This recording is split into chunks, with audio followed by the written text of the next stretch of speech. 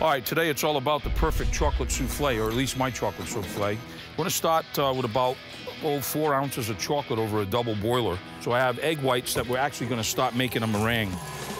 Now, to the chocolate, I wanna add a little whole butter. We're gonna add our egg yolks. We're gonna add our sugar to the meringue.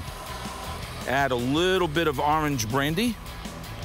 We're gonna take our meringue, fold the meringue into the chocolate base. We're going to go into our ramekin. You want to have your oven on at least 375 degrees, and they're going to take about 20, 22 minutes. So now, after they come out of the oven, we just kind of want to sugar them a little bit.